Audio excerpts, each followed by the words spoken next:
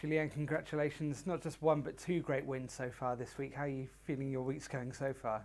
Yes, it's true that I had a great week so far, and I'm very pleased uh, with these two victories, and especially today against Jo-Wilfried. It's never easy to play against him, uh, especially here in France, in Paris. Uh, in indoors, he's very, very powerful, very good. So now, obviously, I'm very happy.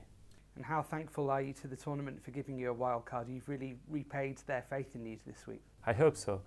I hope I showed that I deserved it, and uh, I thank a lot uh, the Guy Forget and the French Tennis Federation to for the wild card, and uh, I hope it's not the it's not the the end for me, and uh, I will uh, I will continue to play like this tomorrow. And it's Goffin or Mannarino next. Do you mind who you play, given the confidence you must have at the moment? Yes, I don't mind. I'm, I know that it's going to be difficult anyway. So David and uh, Adrian, they have a very very good year for for themselves.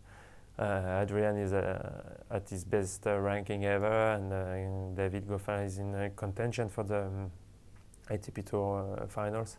So I'm sure, for sure, tomorrow is going to be difficult, but I will try to do everything to be ready for tomorrow. And finally, can we get your thoughts on Rafa securing year-end number one today? It's been a great year for guys in their 30s. Yeah, it's amazing. Uh, totally deserved, uh, of course. And um, Roger had a, an incredible year, and he's not finishing number one. So it shows a lot that uh, on, on, what uh, Rafa did uh, this year to to earn this spot.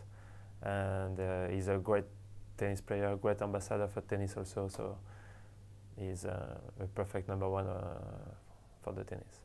Best of luck in the next round. Thank you very much.